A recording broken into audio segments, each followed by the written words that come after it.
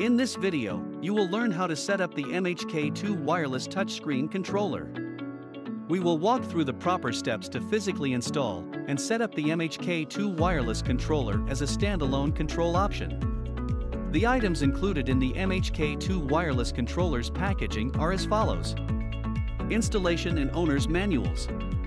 Wall plate.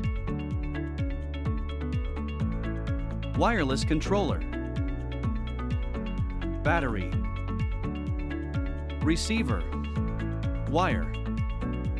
It is highly recommended to have the MHK2 wireless controller installed by an HVAC professional and connected to its designated connector on the indoor unit circuit board. For reference, you will need to connect the MHK2 signal receiver to CN105 on the indoor unit's control circuit board. After installing the MHK2 signal receiver to the indoor unit, you can now power up the equipment. Install the provided batteries into the MHK2 wireless controller. Next, press the connect button on the MHK2 signal receiver and wait until it flashes green. Once you are at this point, you can press connect receiver on the MHK2 wireless controller a countdown will appear on the display. Once paired, the word success will appear on the MHK2 wireless controller's display. At this point, press done to continue. Start setup will display on the screen.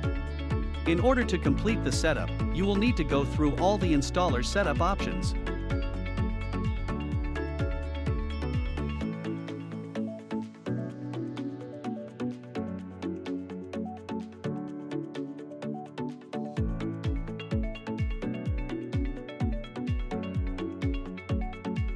After you go through all the installer settings, you will need to input the date and time.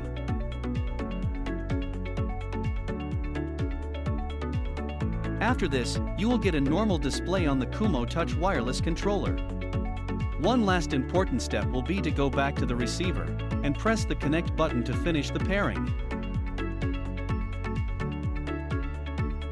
For additional information, please feel free to visit our website at mylinkdrive.com. If there are any videos you would like to request in the future, please feel free to leave a comment below. Thanks for watching. Make sure to subscribe to our channel for future tech tips episodes.